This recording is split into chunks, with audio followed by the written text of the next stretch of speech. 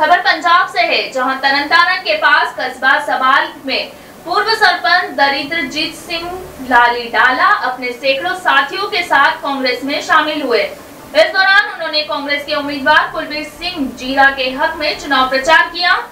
इस मौके पर प्रताप सिंह बाजवा, हरीश चौधरी, पूर्व कैबिनेट मंत्री राणा गुरजीत सिंह और जिला प्रधान हरमिंदर सिंह गिल मौजूद रहे।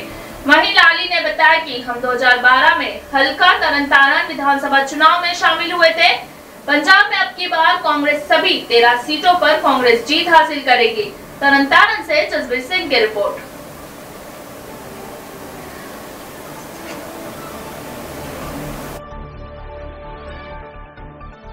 ਮੈਂ ਸਮਝਦਾ ਕਿ ਬੀਜੇਪੀ ਕਿਉਂਕਿ ਸਾਡੀ ਪਹਿਲੀ ਜੂਨ ਨੂੰ ਇਲੈਕਸ਼ਨ ਹੈ ਇਹ ਸਾਰੀ ਇਲੈਕਸ਼ਨ ਨੂੰ ਕਮਿਊਨਲਾਈਜ਼ ਕਰਨ ਦੀ ਕੋਸ਼ਿਸ਼ ਹੈ। ਬਟ ਮੈਂ ਬੀਜੇਪੀ ਦੀ ਲੀਡਰਸ਼ਿਪ ਨੂੰ ਵਾਰਨ ਕਰਨਾ ਚਾਹੁੰਦਾ ਪੰਜਾਬ ਇਸ ਨਾਜ਼ੁਕ ਦੌਰ ਚ ਆਲਰੇਡੀ ਗੁਜ਼ਰ ਚੁੱਕਿਆ ਹੈ। ਵੀ ਹੁੰਦਾ ਮੇਰਾ ਵੀ ਹੋਣਾ ਚਾਹੀਦਾ ਬਰਾਬਰ। ਸੋਚਿਆ ਨਹੀਂ ਕਰਨਾ 35000 ਤੋਂ ਵੱਧ ਪੰਜਾਬੀਆਂ ਨੇ ਸ਼ਹਾਦਤਾਂ ਦਿੱਤੀਆਂ ਸੀ। ਕਿਰਪਾ ਕਰਕੇ ਪੰਜਾਬ ਦਾ ਮਾਹੌਲ ਵਿਗਾੜੋ। ਸਾਡਾ ਸਾਰੇ ਪੰਜਾਬੀਆਂ ਦਾ ਨਾਂ ਤੇ ਮਾਸਟਰ ਹੈ। ਕੋਈ ਕਿਸੇ ਧਰਮ ਨਾਲ ਜਾਂ ਕਿਸੇ ਫਿਰਕੇ ਨਾਲ ਕਿਰਪਾ ਕਰਕੇ ਵੋਟਾਂ ਦਾ ਮਸਲਾ ਹੋ ਰਿਹਾ। ਤੁਸੀਂ ਆਪਣੇ ਕੰਮ ਤੇ ਵੋਟਾਂ ਮੰਗੋ। ਤੁਸੀਂ ਇਹੋ ਜਿਹਾ ਪ੍ਰਚਾਰ ਨਾ ਕਰੋ ਜਿਹਦੇ ਵਿੱਚ ਭਰਾ ਨਾਲ ਭਰਾ ਵੰਡਿਆ ਜਾਏ। ਤੁਸੀਂ ਵੋਟਾਂ ਲੈ ਕੇ ਦਿੱਲੀ ਚਲੇ ਜਾਣਾ ਤੇ ਪੰਜਾਬ ਦੇ ਵਿੱਚ ਕੋਈ ਇਹੋ ਜਿਹਾ ਪੇਚਾ ਪਾ ਕੇ ਚਲੇ ਜਾਣਾ ਜਿਹੜਾ ਸਾਨੂੰ ਫੇਰ ਲੰਬਾ ਟਾਈਮ ਸ਼ਹਾਦਤਾਂ ਦੇ ਕੇ, ਕੁਰਬਾਨੀਆਂ ਦੇ ਕੇ ਪੰਜਾਬ ਨੂੰ ਫੇਰ ਐਤਕੀ ਇੱਕ ਵਾਰ ਫੇਰ ਪੰਜਾਬ ਦੇ ਵਿੱਚ ਜੇ ਹਾਲਾਤ ਵਿਗੜਦੇ ਨੇ ਉਹਨਾਂ ਨੂੰ ਠੀਕ ਕਰਨ 'ਚ ਬਹੁਤ ਜ਼ਿਆਦਾ ਵਕਤ ਲੱਗੇਗਾ ਤੋਂ ਇਸ ਗੱਲ ਕਾਰਨ ਮਾਹੌਲ ਐਂਟੀ ਮੋਦੀ ਹੈ। ਕੱਲੀ ਇੱਕ ਕਾਂਗਰਸੀ ਇਹੋ ਜੀ ਜਮਾਤ ਹੈ ਜਿਹੜੇ ਹਰ ਫਿਰਕੇ ਨੂੰ ਤੇ ਪੰਜਾਬ ਨੂੰ ਸ਼ਾਂਤ ਰੱਖ ਸਕਦੀ। ਪਹਿਲੇ ਵੀ ਤੁਹਾਨੂੰ ਵਿਕਲਪ ਦੇ ਵਿੱਚ ਤਿੰਨ ਪਾਰਟੀਆਂ ਨੇ। ਬੀਜੇਪੀ ਦੇ ਵਿਕਲਪ ਚ ਕਾਂਗਰਸ ਹੈ, ਆਪ ਹੈ ਤੇ Akali Dal. Akali Dal is B team of the BJP. ਸਾਰਿਆਂ ਨੂੰ ਪਤਾ ਹੈ, ਇਹਨਾਂ ਦਾ ਫੈਸਲਾ ਹੁੰਦੇ ਹੁੰਦੇ ਟਲ ਗਿਆ। ਕਿਸਾਨਾਂ ਦੇ ਮੂਵਮੈਂਟ ਕਾਰਨ ਅਕਾਲੀ ਦਲ ਤੇ ਭਾਜਪਾ ਦਾ ਆਪਸ ਸੁਮੇਲ ਨਹੀਂ ਹੋ ਸਕਿਆ। ਆਪ ਦੀ ਲੀਡਰਸ਼ਿਪ ਤੁਸੀਂ ਵੇਖੀ ਹੈ ਕੇਜਰੀਵਾਲ ਸਾਹਿਬ ਨੇ ਮਮਤਾ ਬੈਨਰਜੀ ਨੇ ਤੇ ਉਧਵ ਠਾਕਰੇ ਜੀ ਨੇ ਪਟਨੇ ਦੀ ਰੈਲੀ ਵਿੱਚ ਇਹ ਗੱਲ ਕਹੀ ਹੈ ਕਿ ਜੇ ਇੰਡੀਆ ਬਲੌਕ ਦੀ ਮੈਜੋਰਟੀ ਆਏਗੀ ਤੇ ਕਾਂਗਰਸ ਦਾ ਪ੍ਰਧਾਨ ਮੰਤਰੀ ਹੋਏ ਤੇ ਜੇ ਕੇਜਰੀਵਾਲ ਸਾਹਿਬ ਸਿੱਧੇ ਤੌਰ ਕਹਿ ਰਹੇ ਪ੍ਰਧਾਨ ਮੰਤਰੀ ਕਾਂਗਰਸ ਦਾ ਬਣਾਉਣਾ ਹੈ ਮੇਰੀ ਅਪੀਲ ਸਮੁੱਚੇ ਪੰਜਾਬੀਆਂ ਨੂੰ ਹੈ ਸਿੱਧੀ ਵੋਟ ਕਾਂਗਰਸ ਦੇ ਕੈਂਡੀਡੇਟਾਂ ਨੂੰ ਪਾਓ ਆਪ ਦੇ ਕੈਂਡੀਡੇਟਾਂ ਨੂੰ ਵੋਟ ਪਾ ਕੇ ਜ਼ਾਇਆ ਨਾ ਕਰੋ बढ़ते हैं पंजाब की अगली खबर की ओर गेहूँ का सीज़न खत्म हो चुका है, लेकिन खेतों में बचे फ़सल की पराली को किसानों की ओर से कई जगहों पर आग लगाने से गंभीर हादसे हो जाते हैं। ऐसा ही हादसा होते होते बच गया। गाँव चक हकीम की स्थिति सरकारी गोदाम में खुले में पड़ी गेहूँ की बोरियों को पास वाले खेत में नाड़ में लगी आग की चिंगारी से बारदाने को आग लग गई मौके पर पहुँची फायर ब्रिगेड और गोदाम में स्थिति कर्मचारियों ने आग पर काबू पा लिया। गोदाम में पड़ी दो लाख के करीब बोरी आग की चपेट में आते आते बच गई। वहीं इस मामले में अमृतपाल सिंह ने बताया कि आग फैलने से गोदाम में पड़ा वारदाना और गेहूँ की बोरियों में चक्के में आग लग गई, जिसे पानी डालकर समय पर बुझा दिया गया।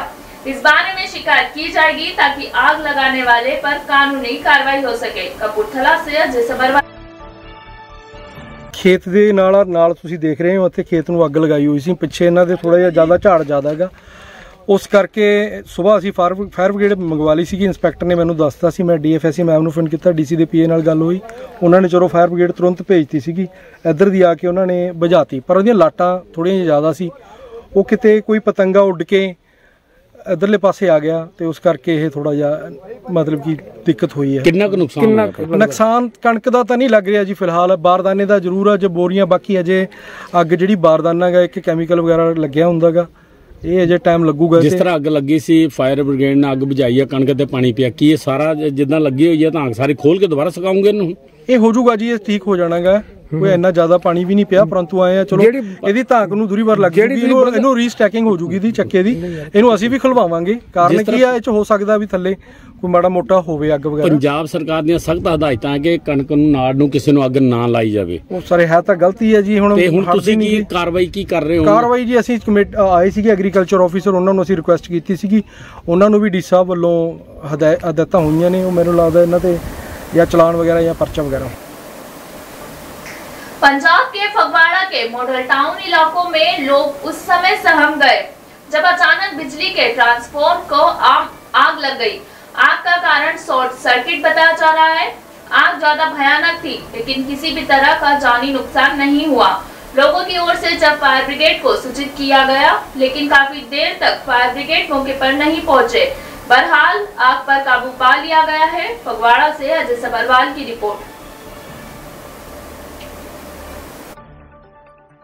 133 ਸੀ ਤੇ ਆਪਾਂ ਲੱਗੀ ਨੂੰ ਅੱਗ- ਅੱਗ 20 25 ਮਿੰਟ ਹੋ ਗਏ ਆ।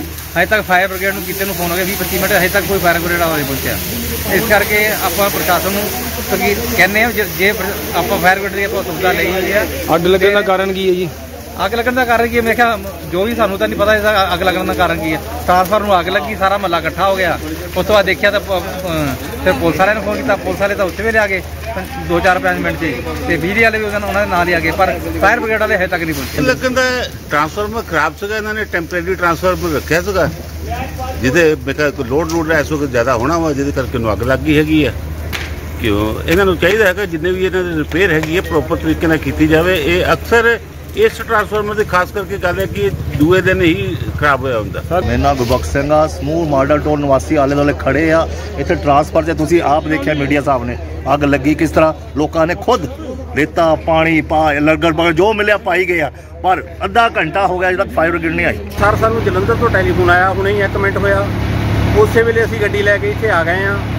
ਟੈਲੀਫੋਨ ਅੱਜ ਦੇਣੇ ਬਿਜਲੀ ਵਾਲਿਆਂ ਨੂੰ ਦਰਖਤ ਜਾਂਗੇ ਉਹਦੇ ਨਾਲ ਸਾਡੀ ਤਾਰ ਟੁੱਟਣ ਕਰਕੇ ਟੈਲੀਫੋਨ ਸਾਡਾ ਖਰਾਬ ਆ ਜਲੰਧਰ ਅਸੀਂ ਇੱਥੇ ਐਸਪੀ ਦਫ਼ਤਰ ਦਿੱਤਾ ਆ ਅਸੀਂ ਆਪਣੀ ਇਨਫੋਰਮੇਸ਼ਨ ਟੈਲੀਫੋਨ ਖਰਾਬ पंजाब के श्री मुक्तसर साहिब के कोटकपुरा रोड पावर हाउस के पास एक रिहायशी मकान में भी- भीषण आग लग गई आग लगने से घर का सारा सामान जलकर राख हो गया घटना की जानकारी मिलते ही फायर ब्रिगेड की टीम मौके पर पहुंची और कड़ी मशक्कत के बाद आग पर काबू पाया आग किस वजह से लगी इसका पता नहीं चल पाया फिलहाल आग पर काबू पा लिया गया है श्री मुक्तसर साहिब से बूटा सिंह की रिपोर्ट ਅੱਜ ਸਾਨੂੰ 12 ਵਜੇ ਸੂਚਨਾ ਪ੍ਰਾਪਤ ਹੋਈ ਕਿ ਬਿਜਲੀ ਘਰ ਦੇ ਸਾਹਮਣੇ ਬਿਲਕੁਲ ਓਪੋਜਿਟ ਇੱਕ ਸੈਲੂਨ ਆ ਮਕਾਨ ਆ ਉਸ ਦੇ ਵਿੱਚ ਅੱਗ ਲੱਗੀ ਹੈ ਸਾਡੀ ਟੀਮ ਨੇ ਮੌਕੇ ਤੇ ਪਹੁੰਚੀ ਮੌਕੇ ਤੇ ਪਹੁੰਚ ਕੇ ਦੇਖਿਆ ਕਿ ਅੱਗ ਇਲੈਕਟ੍ਰੋਨਿਕ ਦੇ ਸ਼ਾਰਟ ਸਰਕਟ ਨਾਲ ਹੋਈ ਸੀ ਤੇ ਟੀਮ ਨੇ ਬਹੁਤ ਹੀ ਮਿਹਨਤ ਨਾਲ ਅੱਗ ਤੇ ਕਾਬੂ ਪਾਇਆ ਤੇ ਉਹਨਾਂ ਦੀ ਜਾਣੀ ਕਿ ਮਾਲੀ ਨੁਕਸਾਨ ਤਾਂ ਹੋ ਗਿਆ ਜਾਨੀ ਨੁਕਸਾਨ ਕੋਈ ਨਹੀਂ ਹੋਇਆ ਵੀਰੇ ਆਪਣੇ ਨਾ ਘਰੇ ਅੱਗ ਲੱਗ ਗਈ ਸੀਗੀ ਇੱਕਦਮ ਤੇ ਮੌਕੇ ਤੇ ਫਾਇਰ ਬ੍ਰਿਗੇਡ ਨੂੰ ਨਾਲ ਨਾਲ ਕਾਲ ਕੀਤੀ ਤੇ ਉਹ ਤੁਰੰਤ ਨਾਲ ਨਾਲ ਆ ਕੇ ਉਹਨਾਂ ਨੇ ਸਾਡਾ ਹੱਲ ਕਰਤਾ ਅਸੀਂ ਸੇਫ ਹਾਂ ਹੁਣ ਸਾਰੇ ਜਣੇ ਘਰ ਦੀ ਹਾਲਤ ਥੋੜੀ ਜਿਹੀ ਅੰਦਰੋਂ ਠੀਕ ਨਹੀਂ ਹੈਗੀ ਆ ਪੂਰਾ ਪ੍ਰੋਪਰ ਵੇ ਨਾਲ ਇਹਨਾਂ ਨੇ ਕਾਬੂ ਪਾ ਲਿਆ ਅੱਗ तरन तारण सिविल अस्पताल के एसएमए डॉक्टर रमनदीप सिंह ने अस्पताल में चेकिंग अभियान चलाया चेकिंग के दौरान मौके से कर्मचारी गैर हाजिर पाए गए वहीं आधा घंटा लेट आने वाले कर्मचारियों पर जुर्माना लगाया गया। दरअसल, सिविल अस्पताल के एसएमओ डॉक्टर रमनदीप सिंह को आमतौर पर अस्पताल में कर्मचारियों के लेट आने की शिकायत लगातार मिल रही थी, जिसके बाद एसएमओ मौके पर पहुँचे, जहाँ छह डॉक्टर और आठ कर्मचारी गैर हाजिर पाए गए।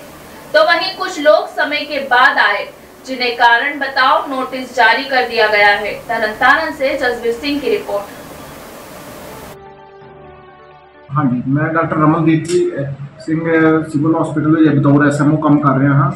ਇੱਥੇ ਮੈਨੂੰ ਲਗਾਤਾਰ ਇਹ ਸੂਚਨਾ ਮਿਲ ਰਹੀ ਸੀ ਕਿ ਕੁਝ ਡਾਕਟਰ ਤੇ ਮੁਲਾਜ਼ਮ ਲੇਟ ਆਉਂਦੇ ਹਨ ਡਿਊਟੀ ਤੇ, ਇਸ ਲਈ ਮੈਂ ਅੱਜ ਸਵੇਰੇ ਸਿਵਲ ਸਰਜਨ ਸਾਹਿਬ ਡਾਕਟਰ ਸੰਜੀਵ ਕੋਲੀ ਜੀ ਦੇ ਦਿਸ਼ਾ ਨਿਰਦੇਸ਼ਾਂ ਮੁਤਾਬਕ ਸਵੇਰੇ 8 ਵਜੇ ਆ ਕੇ ਇਹ ਸਾਰੇ ਓਪੀਡੀਜ਼ ਦੀ ਚੈਕਿੰਗ ਕੀਤੀ ਹੈ ਤੇ ਐਮਰਜੈਂਸੀ ਵਾਰਡ ਦੀ ਵੀ ਚੈਕਿੰਗ ਕੀਤੀ ਹੈ, ਜਿਸ ਦੌਰਾਨ ਮੈਨੂੰ 6 ਡਾਕਟਰ ਅਤੇ 8 ਪੈਰਾਮੈਡੀਕਲ ਮੁਲਾਜ਼ਮ ਜਿਹੜੇ ਸੀ, ਉਹ ਸਮੇਂ ਸਿਰ ਡਿਊਟੀ ਤੇ ਹਾਜ਼ਰ ਨਹੀਂ ਸੀ। ਜੋ ਕਿ ਬਾਅਦ ਕੋਈ ਅੱਧੇ ਘੰਟੇ ਬਾਅਦ ਜਾਂ 1 ਘੰਟੇ ਬਾਅਦ ਆਏ ਹਨ ਉਹਨਾਂ ਨੂੰ ਜਵਾਨੀ ਤੌਰ ਤੇ ਵੀ ਤਾੜਨਾ ਕੀਤੀ ਗਈ ਹੈ ਤੇ ਹੁਣ ਉਹਨਾਂ ਦੀ ਲਿਖਤ ਵਿੱਚ ਵੀ ਜਵਾਬ ਤਲਬੀ ਕੀਤੀ ਜਾ ਰਹੀ ਹੈ। ਕੋਈ ਨਾ ਖਿਲਾਫ ਭਾਗੀ ਕਾਰਵਾਈ ਹੋਏਗੀ। ਹਾਂਜੀ ਅਜੇ ਤਾਂ ਇਹਨਾਂ ਨੂੰ ਵਾਰਨਿੰਗ ਦਿੱਤੀ ਜਾ ਰਹੀ ਹੈ ਪਰ ਜੇ ਇਹੋ ਹੀ ਬਿਹੇਵੀਅਰ ਦੁਬਾਰਾ ਰਿਪੀਟ ਕੀਤਾ ਜਾਏ ਤੇ ਜਿਹੜੇ ਕ੍ਰੋਨਿਕ ਲੇਟ ਕਮਰਸ ਹੋਣਗੇ ਉਹਨਾਂ ਦੇ ਵਿਰੁੱਧ ਫਿਰ ਮੈਂ ਹੋਰ ਇਸ ਤੋਂ ਵੱਧ ਕੇ ਸਖਤ ਕਾਰਵਾਈ ਕਰਨ ਦੇ ਲਈ ਉੱਚ ਅਧਿਕਾਰੀਆਂ ਨੂੰ ਲਿਖਾਂਗਾ।